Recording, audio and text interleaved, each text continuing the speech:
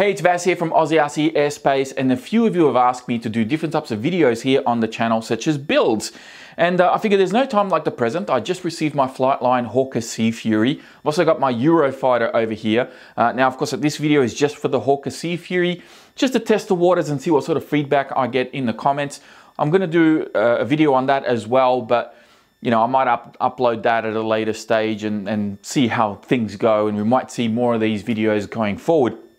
Um, of course, you can see behind me, for those of you who don't know who I am and are completely new to the channel, I also host uh, Aussie Playground, and this is usually the background of when I do my videos. So I've been doing this for a really long time, and I don't have anywhere else to kind of do these videos, to do this content.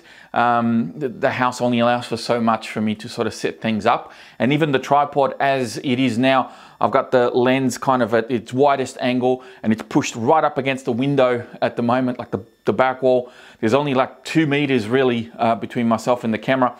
Um, and there's I really can't do anything else. So unfortunately, this is going to be the background of Aussie RC Airspace as well. Uh, if you want to check out what I do in that channel, uh, check the video description. I'll have links in there and you guys can go and check that out and to your heart's content and find out what I do there. So getting stuck back into this. Uh, as I said, I only just got this today. I've already taken it out of the box, but I haven't assembled anything yet. So the first thing we're gonna do is we're gonna take, get rid of that box and uh, bring the plane out, lay everything out and uh, just see exactly what goes where and kind of plan, you know, get a bit of a plan of attack on how we're gonna build this thing. So once I've got everything out of the box, I lay everything out on my bench just to double check that I've got everything as I should have as it states in the manual. This is a good opportunity to double check your contents and uh, raise any warranty claims or anything like that with the hobby shop or retailer or website, wherever you got the plane from. So that's a little tip there that I like to do. Um, this also allows me to plan uh, a little bit ahead and just see exactly how I'm going to do this build. Obviously, the instructions usually have it right in the order in which you assemble everything. So, you know, put this part on here, screw this on here, and everything should flow pretty well. But uh, I do sometimes switch it up a little bit depending on what it is I'm doing. Um, and I'll admit that not all the manuals are 100% correct. Sometimes um, you do want to do one part before the other just to make it easier to maneuver the plane or set something up a particular way or test something. Uh, it's just something to keep in mind. But of course, a lot of that comes with experience. A lot of the times I just skim over the instructions just to get a feel of what order they expect you to do certain things. And then after that, I kind of play it by ear and just make sure I do it the way that it suits me. So as you can see, I've got everything laid out here. We've got our uh, main wings just here, which are just below the camera line. Uh, we've got our drop tanks just over here. We've got our horizontal stab just here. Uh, a little tiny spar, which is kind of comically small. I hope that it works okay in these wings. Um, they've given me this little bag with some, I think these are like surface hinges, you know, control hinges or whatever they are. I don't know why they've given this these because all the all the control surfaces are already on there, but maybe they're spares. Um, we've got a little piece of foam that we need to glue onto the fuselage. We've got our prop, which comes in four blades, four independent blades, which then screw on to the base of your spinner, and then the spinner itself goes on top and clamps everything together, and that's essentially your prop.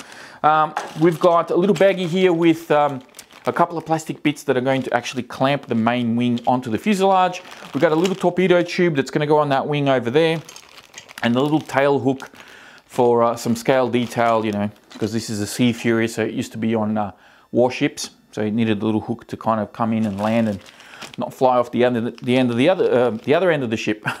uh, and then this little bag here has got, I think there's like three Y leads. There's some screws in here, uh, a tube of glue, and some carbon fiber little bits of tubing, and an extra sort of like little clevis thing, and that's it. So we'll go through all this as I you know put this plane together. Now aside from this, one of the other things that I always like to keep handy, as you can probably see here, is uh, I get my battery and my uh, receiver and my radio. I keep all of these kind of handy and ready to go. So when I get to the point where I actually want to test control surfaces and make sure everything's connected correctly, I've got that there ready to go as well. Of course, the fuselage, which uh, you know, has been standing here waiting for me to mention it. uh, this comes fully assembled like this as you see it, so you don't have to do anything uh, to the fuselage. Uh, it comes exactly as it is. Uh, it's got a little hatch just over here with a couple of really strong magnets, which is nice. Um, and then inside here, they give you this little shelf liner thing. It's like a rubbery thing to stop the battery from sliding around. I personally don't use these. Um, as you probably saw, my battery has Velcro on it. Um, and that's really something that's just happened over, over time. Like I used to have, or have, a lot of wings and uh, some other smaller planes that don't have battery straps. So I put Velcro on all my batteries to stick them down. And uh, pretty much every battery that I have for my planes, I have some Velcro on it. So I just put a loose strip of Velcro in there, stop the battery from sliding around. This does have a Velcro strap, so it's going to hold it in place really well. The Velcro is just there to kind of like stop it from sliding around so you know, nothing bad happens to the CG as you're mid-flight. This comes with XT60 connectors, which is fine, but as you can see, these uh, my batteries have XT150s. Now, my smaller packs, 4S packs, they're all XT60s, but this I think runs anything from a 3300 to a 5000 4S.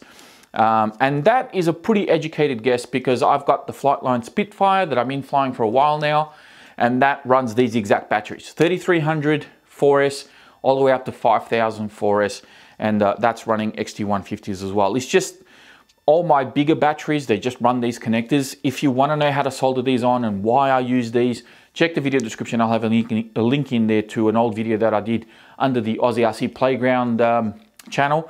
And that'll kind of take you through, you know, all the reasoning why I use these connectors, why I like them for some of the higher amp draw, higher performance uh, packs, such as the uh, 8S Eurofighter that we've got here as well. So I'll be using XT150s in that. So kicking this off, uh, the first step is actually gluing this little piece on. So you flip your fuselage upside down and this guy just gets glued in here like so. Uh, now you want to score this a little bit with a, with a knife, you know, just put a couple of cuts in here and a couple of cuts on the actual fuse itself. Um, and then you can use the tube of glue that they've given you. Um, I'm not going to use this one because I've got a, another one from other Freewing planes that I've purchased in the past that's still got heaps of glue in it, so I'll be using that. And um, yeah, I'll be putting this on here. Whilst that's going on and drying, I'm going to take my battery tray out of the fuse uh, to be able to remove the ESC out of here. And then I'm going to be swapping out my connectors so I don't do my swap over with the ESC in here. Uh, it can be done, but it's really tricky and it's kind of awkward to do. So I'll take this out and make life easy for me. All right, let's get to it. Okay, I'm back and I've got my ESC with my XT150 connectors. You'll notice that I've got the bullets of the motor sticking out of the front cowling and there's a good reason for that and I'll swap, um, flip this over and just kind of show you. I need to be a little bit careful with this. I know this is probably pretty well glued. It's been about 20 minutes or so, uh, but I just need to be a little bit careful with it. So when I took the battery tray out, um, I had full access to the ESC and I could just pull it out from the hatch here and it would have been fine to just take it and do what I needed to do with it. The problem is when you go to put it back, because these cables and the bullets are kind of buried right in there, unless you've got some specialty really long needle nose pliers, and you might need an extra set of hands as well, because you can hold the bullets with the needle nose, but then to get these in there, your hands might not be big enough and you won't be able to see too much either. So it's really awkward. And what I found it was probably easier to just slide the ESC straight out of the front. Now you still need to remove the tray to do this because you kind of need to guide it through the little gap underneath the motor, which is there for airflow. Um, and it fits perfectly through there. It wasn't a challenge at all. But you just need to sort of like, you know, get it to feed through. Um, and then I could yank it out from the front. Now, there is a, another flip side to this, which is a positive, and that is that when you do anything like this, like if you take the ESC out and swap it out to, I don't know, EC5s or XT90 connectors, and you go to put it back, you need to check the rotation of the motor before you put everything back together, because then you're going to be stuck, right? There's a 50% chance you're going to get that wrong, uh, which is another reason why I like to keep my batteries, receivers, and radios handy in case I do need to do any testing like this. So I'm going to plug the ESC in, plug it into the motor, um, and just bind up that receiver and just test the rotation of the motor, see which way it's going. If it's the wrong way around, I just swap any two of these and uh, we'll be uh, good to go. And yeah, I can put everything back together. Right, so I've got my motor going the right way and believe it or not, as luck would have it, when I first plugged it in, I actually had it going the wrong way. And I, I did take out my spinner and one of the props just to kind of double check to make sure I actually had it going the right way. This was uh, uh, spins anti-clockwise and the motor was spinning clockwise. So I swapped over two wires, problem solved. But I wanted to, um, whilst I've got this all set up and ready to go, I wanted to take you through a very crucial step that I think a lot of people don't do, especially if you're fairly new to the hobby, and that is to calibrate the ESC. So I haven't done it yet. I just plugged it in and I know it's working, but I can tell that there's a bit of a dead band on my throttle when I apply power. And uh, what you need to do uh, is actually just calibrate it to make sure that it's all working right. Now, some of the more modern ESCs, I think even some of the Spektrum ESCs, I think actually some of the Freewing ESCs won't arm the motors until you've actually done a calibration. So you can plug it in and bind your receiver as you normally do, but you go to apply power and there's nothing going on. You maybe get it like a, a weird beep out of the motor or something like that. Uh, and that means that you just need to calibrate in order for the thing to actually work properly. So for those of you who don't know, if you've been in the hobby long enough, you probably know how to do this with your eyes closed. But for those of you that don't know, are fairly new to this, I'm going to show you how to do it real quick. So um, essentially what you're going to do is you're going to make sure that if you've got any throttle cuts or anything activated on your radio, turn them off. So your throttle is active, right? Um, you're going to basically give full throttle on the radio with nothing plugged in. Okay, so you're gonna get full throttle and then you're gonna plug your battery in. Now you always wanna do this with the prop off, okay? And I like to do it when I'm setting up a new plane. I like to do it before I even have any other control surfaces connected. So I've only got the ESC um, and this is just for the motor, just to calibrate. That's all we're doing. So full throttle on the radio, plug your battery in, and you're to hear a beep, that double beep there. Once you hear that double beep, you throttle down and you're calibrated. That's it. It's as simple as that, right? So now I can feel that the very tiniest little bit of deadband right at the base of my throttle stick as compared to before. And it feels a lot smoother as well, and a lot more responsive. So you'll notice it straight away. When you put a new ESC in or when you swap out the receiver, always do a recalibration to make sure everything's working correctly. Recalibration or calibration doesn't um, set the motor direction or have anything to do with that. It's just to basically calibrate the speed controller to the throttle range on your radio. That's really all we're doing. Once it's done, you can unplug and you're set. You can go on about your day setting up the rest of the plane and whatever it is you, you know, you're going to do next. Okay, so the next stage is to put the wing together and mount it to the fuselage. Now, the manual does say to glue the wing, um, which I'm going to do. You can probably get away with not gluing it, but do that at your own risk. Um, I'm going to follow the instructions here. I have no plans to disassemble this plane afterwards, unless it has an unexpected disassembly uh, during flight. Um, so I'm going to glue the wings together. So I've already uh, scored my surfaces and it's all ready to go. Now you can sand these down a little bit. I usually just use an X-Acto knife and just do like little crisscrosses on them um, and poke them a little bit just so that the glue actually goes in there and really seeps into the foam.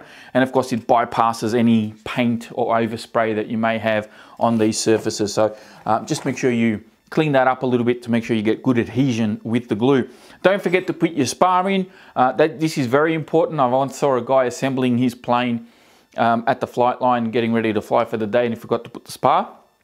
So um, I'm pretty sure you can all guess what happened. Uh, it was quite entertaining. Anyway, uh, the screws that they uh, ask you to use are the biggest ones that come in the little screw packet, so you can't really mess that up. Uh, just pick out the biggest ones.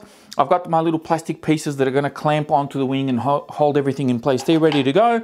I've got my screwdriver um, over there somewhere. And yeah, I'm just going to put the glue in, put the spar, get this ready, and then we're done. So I've got my wing assembled, as you can see here, and I've just literally just put it together. So the glue's not totally dry yet. But as I was about to put the wing on the fuselage, I realized these cables are really short. So once the cables kind of poke through there, it's going to be really hard to sort of clip in your Y leads. So before you put the wing on, make sure you actually clip your Y leads in there. Uh, also, make sure that you're connecting the two cables that are supposed to be connected together. Um, and if you have to, uh, connect up your receiver and, uh, and just double check everything to make sure landing gear, flaps, ailerons, everything works before you actually clamp everything down. Uh, but I think they're all labeled, so just use your Y leads now, plug them in, and then feed it through the fuse before you actually put the wing on there to save you some trouble. So as I'm putting the wing on, I've realized that even though you may glue the two halves of the wing together, you can still remove the wing from the plane for transportation. It'll just be one big wing. Um, so yeah, you can probably still glue it together um, as long as you're okay with just having this as one big piece, I guess.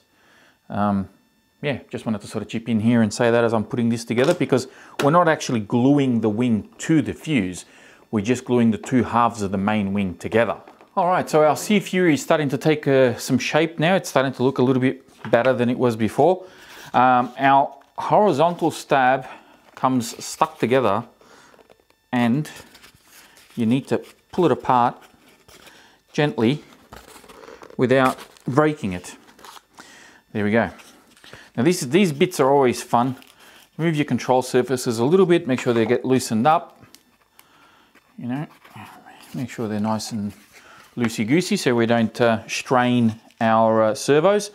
Uh, got the little spar here that goes in, in the hole just like so and feed that through just like that.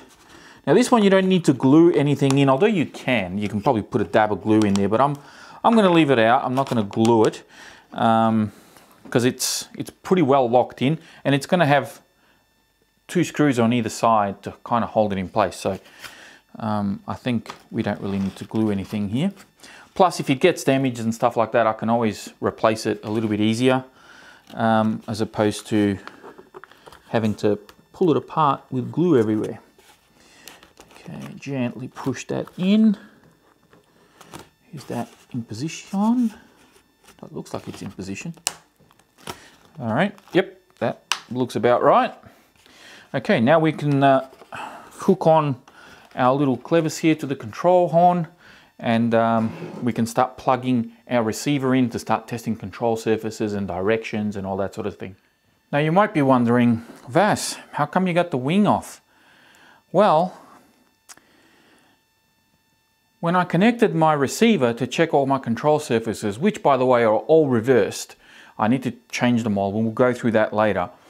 I realized that the control rod to the elevator was about an inch and a half away from the control horn on the, on the uh, surface. So I'm like, okay, well, trim, sub-trim, and adjusting the thread on the clevis ain't gonna fix that. I had to actually get onto the servo itself and adjust the little clamp that holds the, the entire control rod. I've taken the screw out because it is the elevator and uh, these are threaded on. Um, I've taken the screw off because I want to put some Loctite on there to make sure that this guy doesn't back out. You know, I can live with a rudder screw coming loose or something like that. You know, you can compensate. But if you lose elevator, that's usually game over for that model. So I'm putting a little bit of Loctite. I'm screwing it back into place and I'm making sure that my surface is pretty much, you know, level. Uh, yep, there. Actually, it looks like it's a little bit down, so give it a, a smidge of up. Yep, that looks about right. And now I can tighten it. And I'm going to do the same thing for my rudder.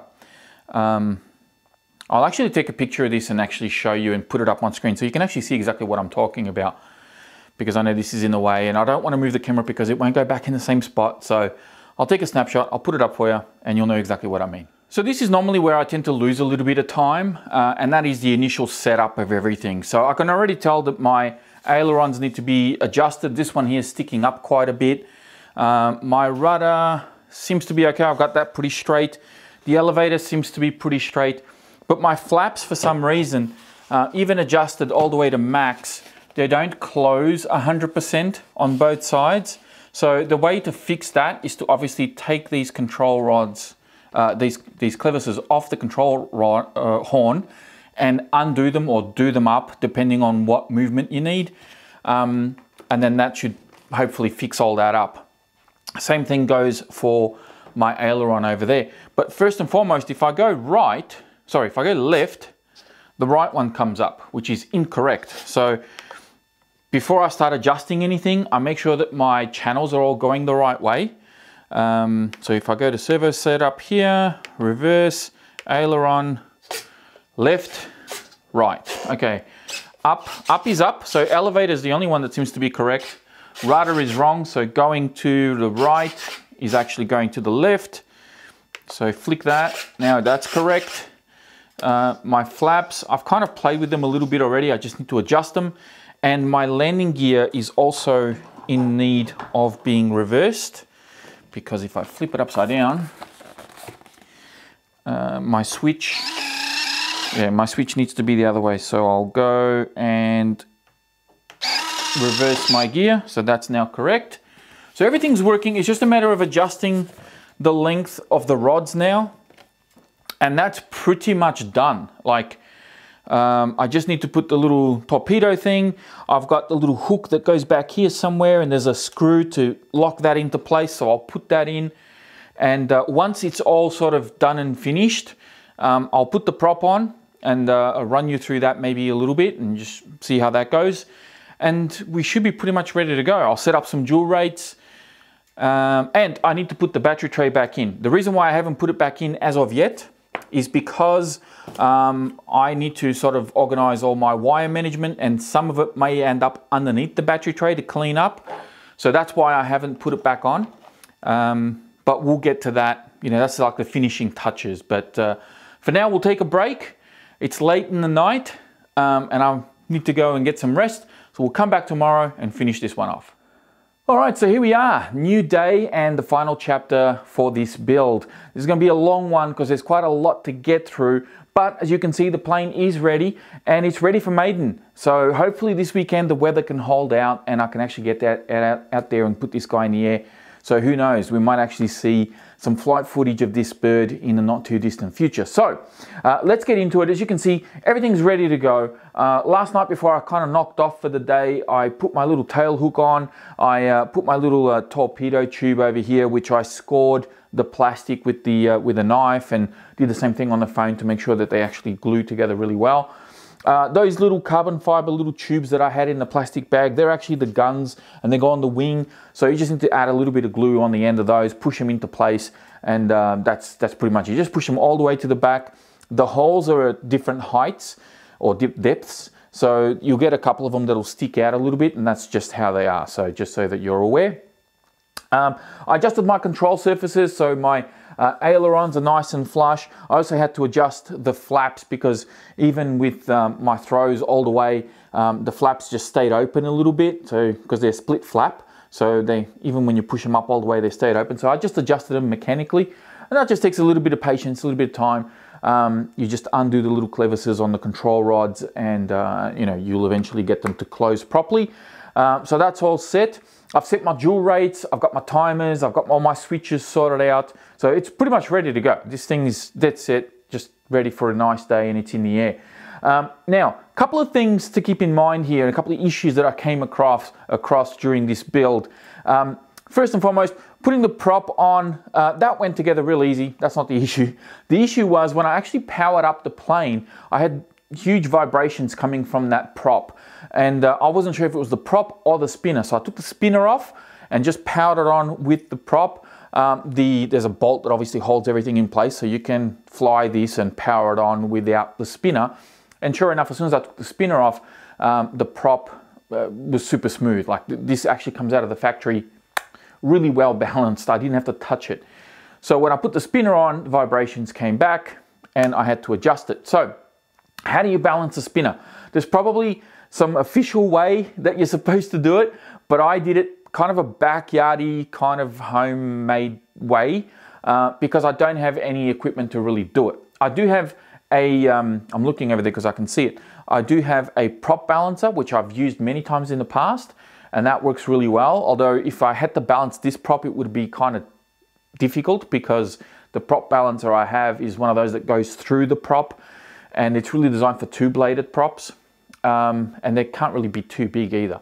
So that's one issue. Uh, but to do the spinner, I thought I could do the same and just put it through the spinner, but it doesn't work because the hole for the spinner for the screw uh, was too small and I didn't want to bore it out because then I could drill it off center and that could make matters worse. And also uh, I could have made it too big where the screw will just go straight through and then the spinner won't even hold on there unless I start putting washers and modifying, whatever. Anyways, I didn't want to do that.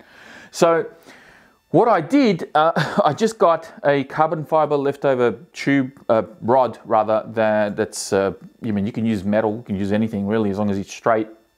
And I put my spinner on here and as soon as I put it on, it just dropped to the heavy side. It just went straight down the bottom. I'm like, okay, well this might actually work.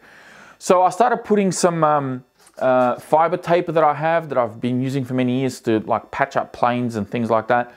Uh, and that's a fairly sort of chunky tape. And I put about four or five layers, maybe about one inch thick, uh, one inch long rather. Um, and it just wasn't having any sort of major effect on it. The thing would just keep dropping to one side. And I thought, okay, I need something heavier. But, you know, I didn't want to put like 20 layers of tape on there because then, you know, tape, it's sticky tape in the heat, it might start shifting, it might come undone. I didn't want to take that risk. So uh, I remembered I had some epoxy putty and it got me out of trouble before to balance some high speed wheels that I've got for some of my fast cars and um, it worked, it worked well with the wheels. So I thought, well, maybe this will work with the spinner as well. Now, for those of you who've never used epoxy putty, um, it's actually a really cool thing. It's like Play-Doh, but it's, it's got an outer layer and then it's got an inner core and they're two different colors. And essentially it's like a tube. So you just slice it off like a salami. Um, slice off a little slice and you peel a bit of plastic that's on the outside, take that off, and you just mash it together until it goes all one solid color. And once it gets down to one color, in my case, it's just gray, um, you've got about five minutes or so to apply it and do whatever it is you want to do it before it goes rock hard. And I mean, this stuff goes rock hard. It's incredible how hard this thing actually gets. Uh, but it does have, when you're, when it's soft, it does have a bit of stickiness to it. You can stick it to stuff. And I thought, well, I'll put it on the inside of the spinner and I'll put a little bit in there. And um, sure enough, I had the spinner on the, you know, on the rod and I could put it pretty much at any position without it dropping or even rotating a little bit. So it worked well. It sounds very crude. I know that there's probably a better way to do it, but it worked because now I can actually spool this up and it's super smooth. And even if you don't see or hear a vibration, you can feel it if you hold the plane. And I can tell you there's no vibrations going through this as, uh, at all at the moment. So I'm really happy that it actually worked out. Maybe I'm lucky, but this is something that worked for me. Maybe if you're in a bit of a jam, it might work for you. Um, now, the next thing, of course, was CG. And CG is a bit of an issue with this plane. And I've actually been asking on the Motion RC Facebook page to see if anyone could tell me where they've got their CG at and how they sort of fix this. Everyone just keeps telling me that I need to add nose weight. I know this, but where is your CG at? That's, that's the question that I asked. No one seems to be giving me a straight answer, which is really disappointing. Um, but factory CG is about five or four or five millimeters ahead of this little um, where the black stripe finishes. So you're just ahead of the black stripe. Um, and if I was to use the 3300 milliamp battery with no added weight or anything like that, I'm almost about 20 mil back from where CG sh should be. And that's bad, right? Especially on a warbird, you're gonna have a bad day. So I thought, okay, I'll use a 5000 milliamp, which is what I've got in here now. I've actually got a 5000 uh, Gens Ace uh, bashing battery. That's the one that's in there. And um, it got a little bit better but it still wasn't enough. I'm still very tail heavy. So I thought, okay, I need to add lead weight. So I took the battery tray out and underneath the battery tray, there's like a void and you can put some weights under there uh, attached to the bottom of the battery tray. So I actually stuck them on there. I put some CA to make sure they don't fall out. And I even put a bit of tape over the top um, just to make sure that, again, they don't fall out of there because I don't want that weight to fall and roll down, you know, the, the fuselage and then the, the whole thing is just, it's going to be game over for this plane, right? Um, so I've made sure that they're nice in there and secure.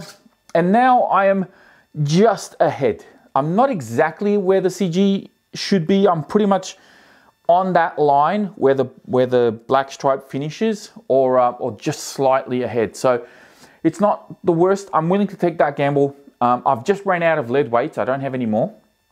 And uh, I'm going to fly it as is if the weather permits this weekend and uh, we'll see how we go. If I need to add more lead weight, well, so be it. I'll add more lead weight later on. But for the moment, I'm only flying this on 5000s uh, purely just to try and get CG with this. And that's of course with a little bit of extra putty in the um, spinner as well. Now the drop tanks is another thing that I did as well. Uh, as I was saying, I was going to put magnets in these and um, it looks as though this may actually work. Now I did two different methods and we'll see which one works. There's also a third method. I've got some slightly bigger magnets if these need to be any stronger, but these are a 10 by 5 by 2 millimeter thick magnets. This one, I've actually got them inside the foam, so they're actually going long ways. And on this one, I've got the same magnets, but I've actually gone across, all right? Um, I don't know, I'm just trying different things, right, to see what works best. But they've both got a bit of tape over the top. They've all been glued into place.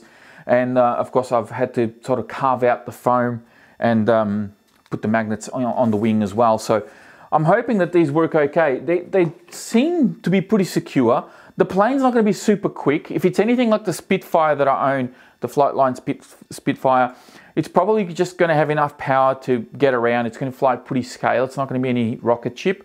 Um, I've upgraded the power system on my Spitfire because I felt that it really didn't have anything in reserve to have a bit of fun with the plane. Um, and it didn't have a very good climb either. So I put an FMS motor in it. I upgraded the ESC. I think I've put a 70 or 80 amp in there and I kept the same prop. Because I know Motion RC have a power upgrade kit, but you need to swap out the prop to a two-bladed prop and it just doesn't look right to me. These planes deserve to have either a three or four-bladed prop depending on the aeroplane. Uh, to put a two-bladed prop, eh, didn't, I didn't like it. I didn't want to do it. So I searched around, I found an FMS motor and um, it actually works perfect. I'm really, really happy with how the Spitfire turned out, and I'm hoping that if this has the same issue, I can upgrade this one in the same fashion and they'll both have the same power system. So we'll cross that bridge when we get to it, but I do want to fly it stock just to see how it is. Um, I'm really keen to fly this plane because I used to have the um, Hobby King Avios um, Sea Fury many years ago, and that plane flew horribly. Um, at the same time, I also, I'm very much aware that I probably wasn't at the skill level that I should have had to be able to fly it properly. So it was a bit of column A, a bit of column B, but I do admit the plane flew very bad. It was very heavy, feels like it felt a lot heavier than this, and it felt quite underpowered as well. So hopefully this isn't the case. It does feel a lot lighter. The plane feels really, really good. Uh, it looks fantastic. I've got a soft spot for the Sea Fury because of the Avios Sea Fury that I used to have and uh, that's why I gravitated towards this one. But I'm going to get more of these Flightline planes in the 1200 mil. Um, and uh, I know there's a Bearcat, a blue one or something that, I, that I'm probably going to get next. And there's a couple others that I've got in my eye on as well. So I'll have the full collection eventually. But this one, um, I just had to get it now while I could. And I can't wait to fly it. All right, well, that's pretty much it for me, guys. Thank you all very much for watching. If you're here up until this point, be sure to hit that like button before you go. Don't forget to subscribe if you're new and uh, go out there enjoy the hobby and happy flying and I'll see you next time.